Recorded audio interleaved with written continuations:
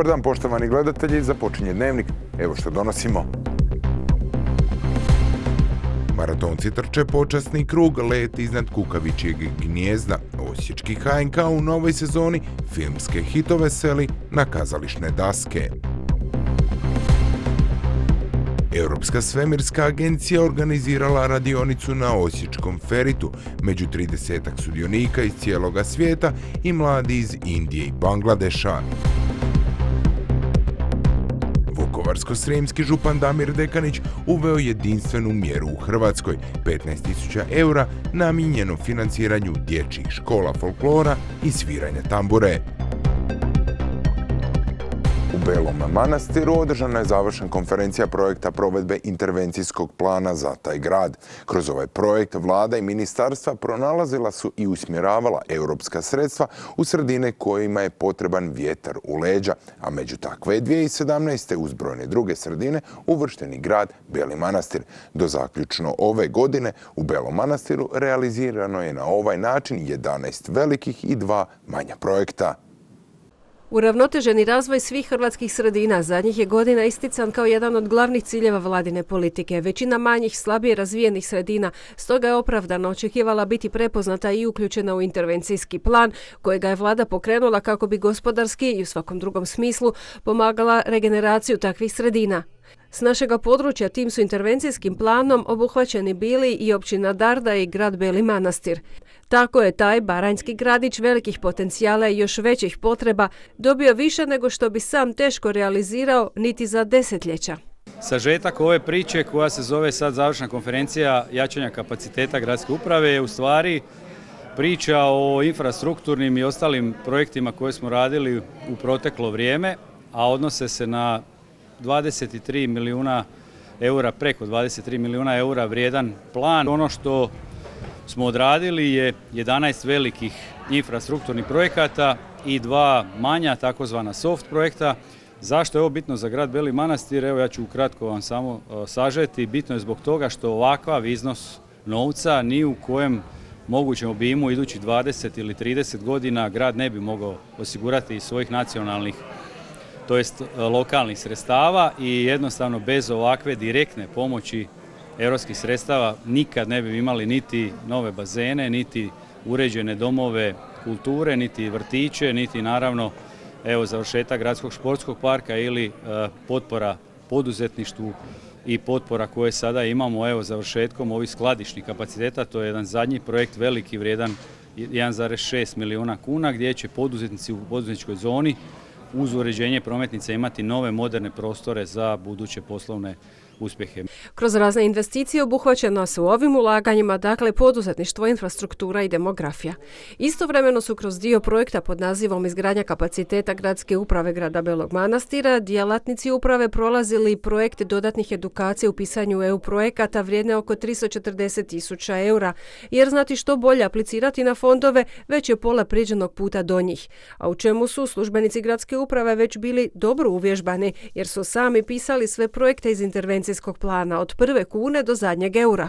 Naši su zaposlenici, e, njih 12, zapravo kroz ovaj projekt prošli različite edukacije, formalne i neformalne.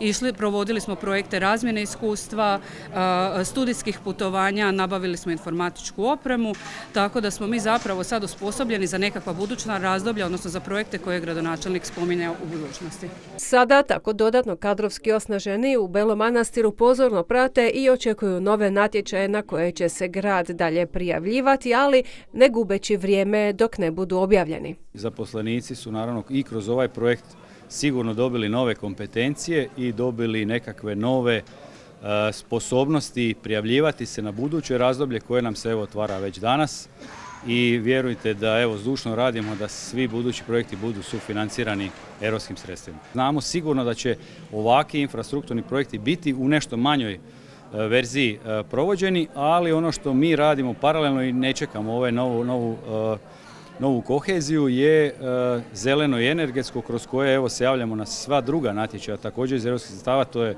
i Fond za zaštitu okoliša i sva druga ministarstva i putem Interreg projekata koji će se otvarati znači među narodnih, međudržavnih i naravno prekogranična suradnja za koju smo se evo već prije nekoliko dana i prijavili. Rade dakle u Belom Manastiru na četiri područja paralelno, dok očekuju nove operativne planove o kojima će potankosti biti objavljene preko Ministarstva regionalnog razvoja i fondova Europske unije.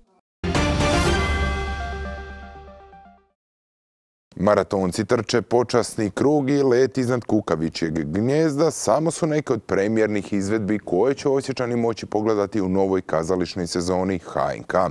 Kompletan program nove sezone djelatnici Hrvatskog narodnog kazališta predstavili su na konferenciji za medije. Ovaj koncert označuje kraj Osječkog ljeta kulture, ali i početak nove kazališne sezone Osječkog Hrvatskog narodnog kazališta.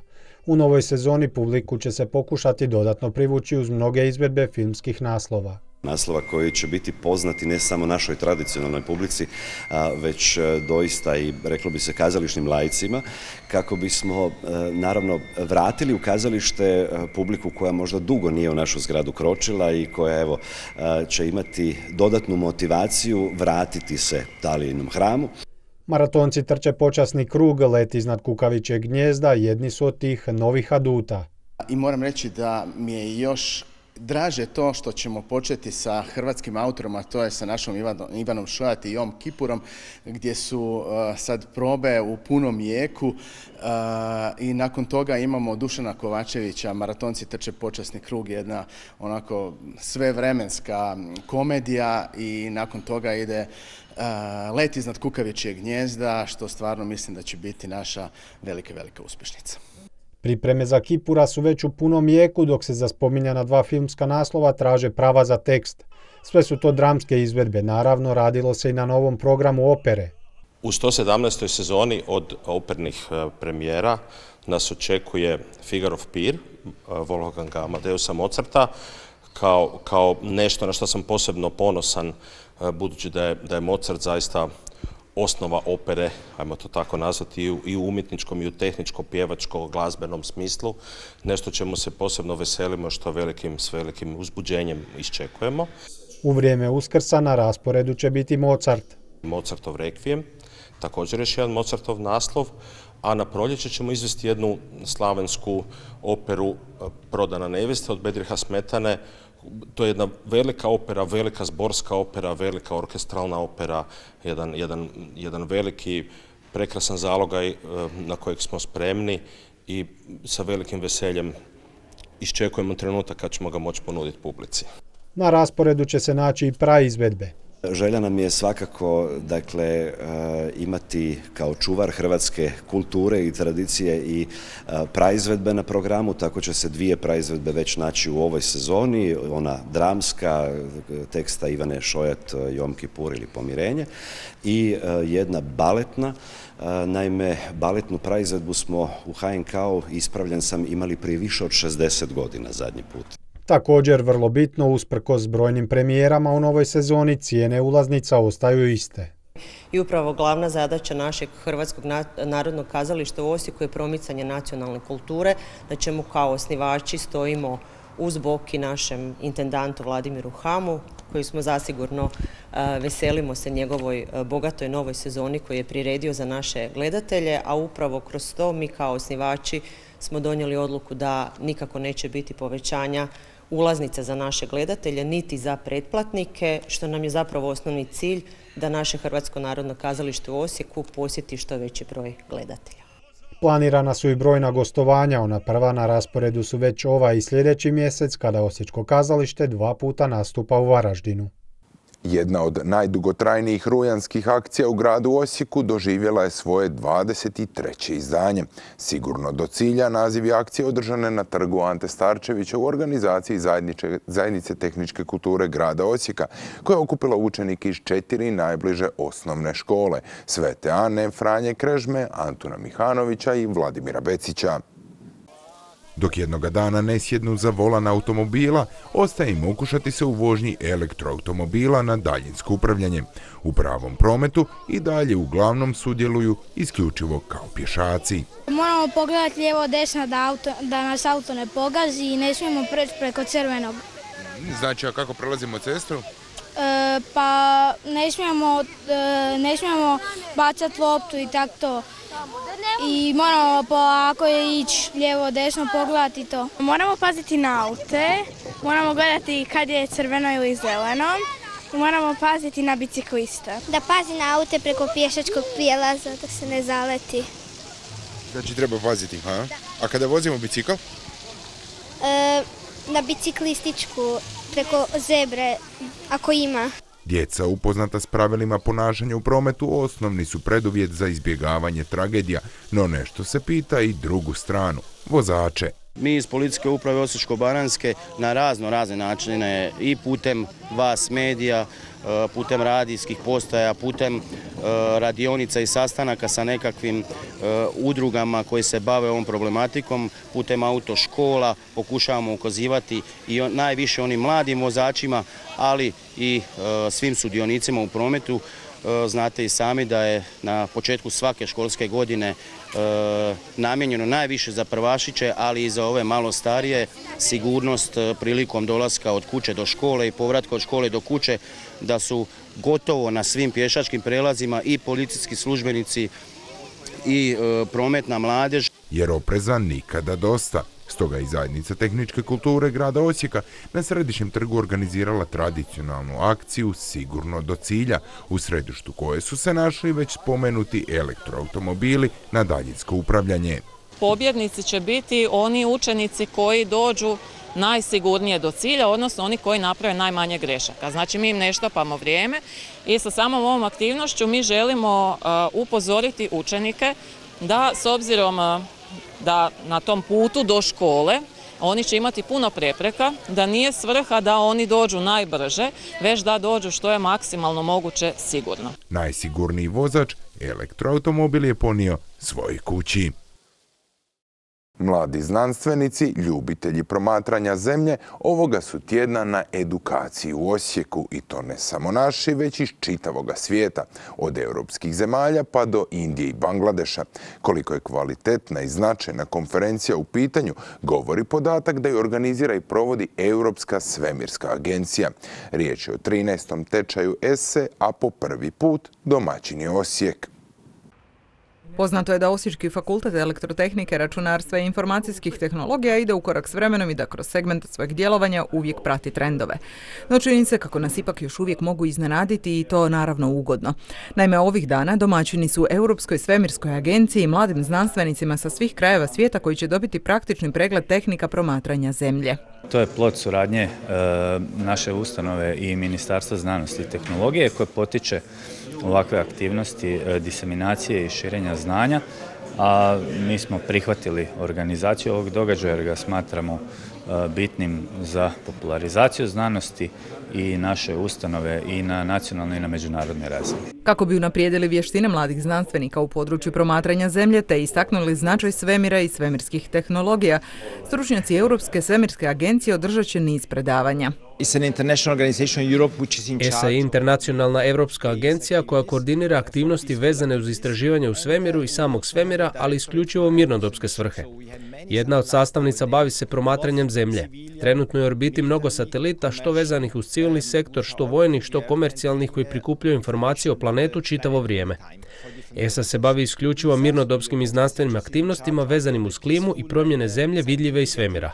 Mladi znanstvenici došli su čak i iz daleke Indije i Bangladeša, ali i naše zemlje i čitave Europe. Atanasios je inače Grk, ali studira u Danskoj. Očekujem da ću naučiti neke nove stvari i kroz promatranje zemlje steći praktična znanja iz područja kao što su poplave, požari, ali i uništavanja prašuma. Nadam se da ću ovdje steći nova iskustva iz ovih područja. Zahvaljujući informacijskim tehnologijama kao i naravno satelitima, ljudima su pristupačne brojne informacije. Vrlo je bitno pokazati ovim mladim ljudima i naučiti ih kako pravilno koristiti te informacije, kako promatrati zemlju, a onda jednoga dana sva ta znanja iskoristiti kako bi našli kvalitetan posao.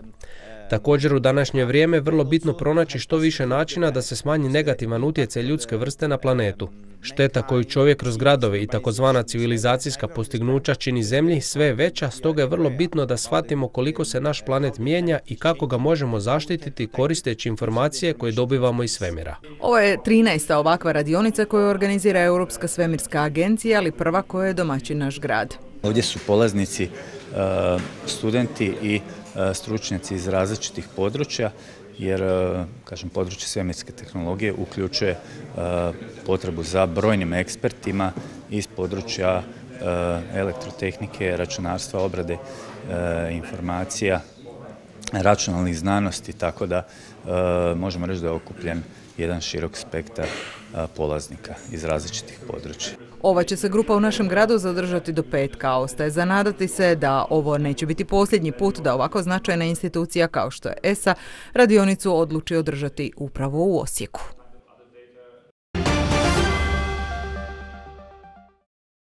Vukovarsko-srijemski župan Damir Dekanić uručuje predstavnicima kulturno-umjetničkih društava s područja najistočnije županije ugovore o sufinanciranju dječjih škola folklora i sviranja tambure. Želja je s ovom novom mjerom novčane pomoći dodatno doprinijeti očuvanju slavonskog identiteta.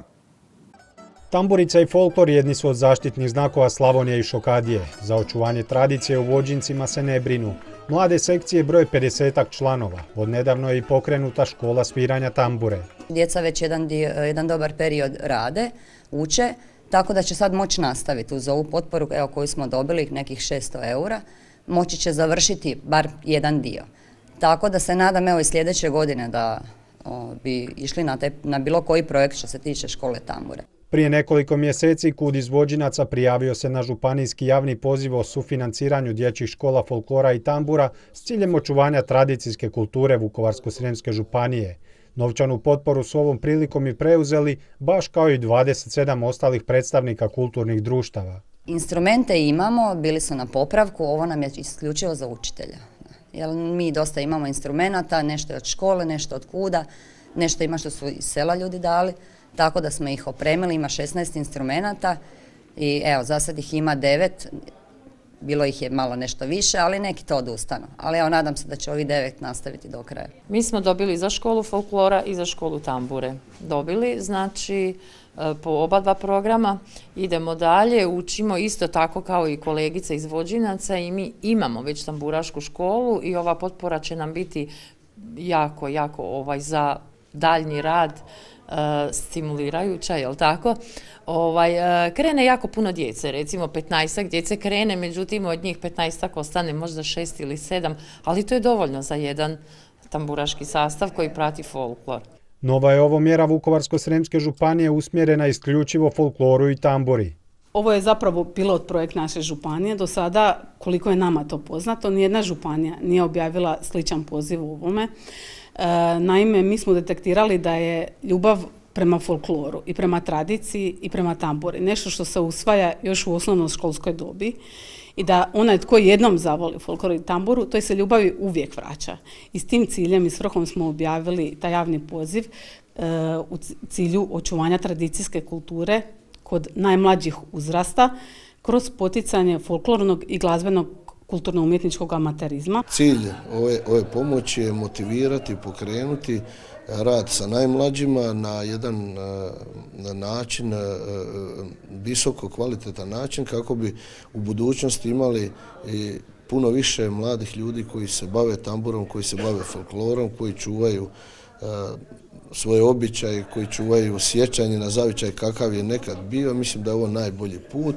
Jednostavno želimo detektirati gdje su područja u kojima se uistinu usplat, isplate uložiti sredstva. A sredstva kao i vrijeme uvijek se isplati uložiti u one najmlađe kroz održavanje ovakvih programa i na, na njihovom kraju ćemo naravno vidjeti kakvi su rezultati polučeni i spremni smo e, puno više e, usmjeriti sredstava upravo, upravo u, te, u te programe, u te projekte, kada na kraju vidimo e, kakav smo rezultat polučili. Ukupna vrijednost potpisanih ugovora je 15.000 eura, a kako je Župan Dekanić i najavio, ako bude interesa najmlađih, taj iznos će u budućnosti biti i veći. Natjecanje u kuhanju čobanca, međunarodna likovna kolonija, svečano otvorenje obnovljenog trga i palače Gutman, te koncert Osječkog HNK obilježila su prva dva dana Belišćanske zlatne jeseni. Tradicionalne manifestacije koja je svoj vrhunac imala u nedjelju poslje podne međunarodnom smotrom folklora.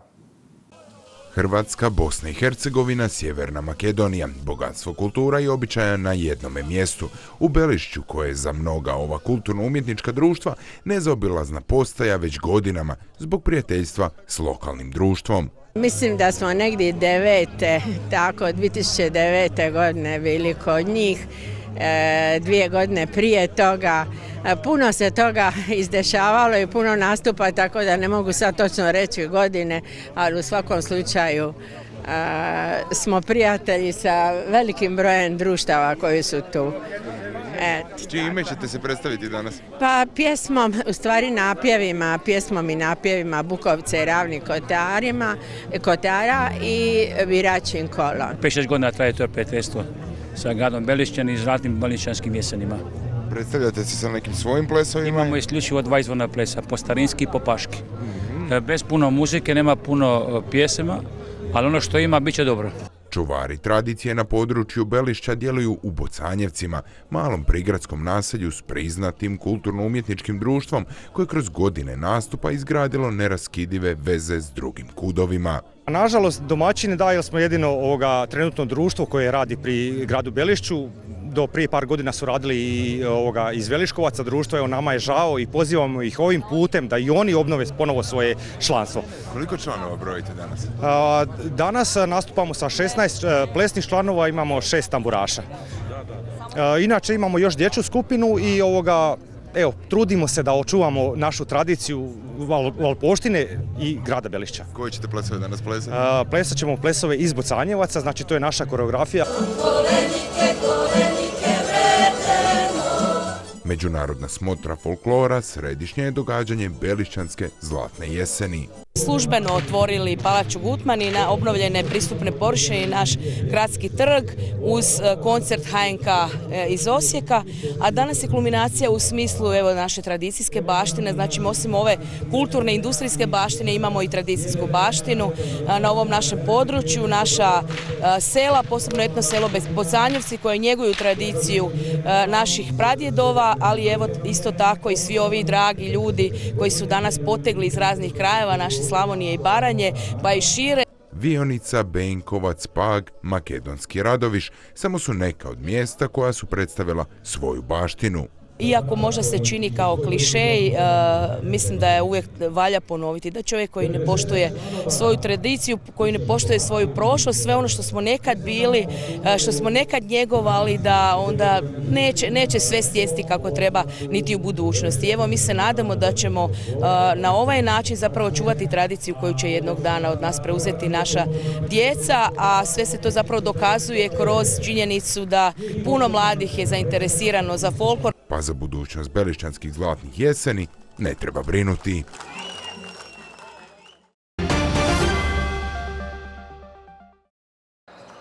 Rukometaši Našičkog Neksija ubilježili su i drugu pobjedu na otvaranju nove premijer ligaške sezone i u drugom kolu Lige B premijer lige Našičani su bili domaćini, a nakon križovačkog KTC-a u dvorani osnovne škole kralja Tomislava u Našicama poklekala je momčad Poreča Nex je slavio pobjedu rezultatom 33 naprema 25, a ovom je prilikom najraspoloženiji bio Luka Moslavac s osam postignutih pogodaka. Povratnici u premijer ligu, rukometaši Osijeka, u drugom su kolu u Ligi B premijer lige ponovo igrali na gostovanju, odakle su se opet vratili s jednim vrijednim bodom. Jer nakon Trogira u prvom kolu Osječani su sada osvojili jedan bod i na gostovanju kod Moslavine u Kutini, odigravši 29 naprema 29. Uz vratare Hečimovića i Orlovića, u Osječkoj se momčadi s osam pogodaka istaknuo najefikasniji strijelac Čičak. Osjećani će svoju povratničku domaću premijerligašku premijeru imati u subotu 23. rujna kada će u dvorani Zrinjevac ugostiti Varaždin koji je u prva dva kola osvojio sva četiri boda.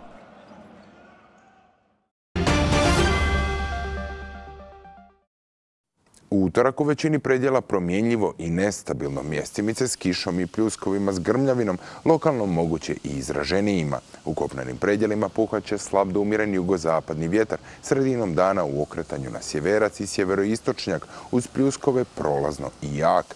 Jutarnje temperature zraka unutrašnjosti od 15 do 20, a najviše dnevne između 25 i 30 Celzijevih. Pratili ste Dnevnik. Hvala na pozornosti, dragi gledatelji. Ostanite uz naš program i do idućeg viđenja. Lijep pozdrav!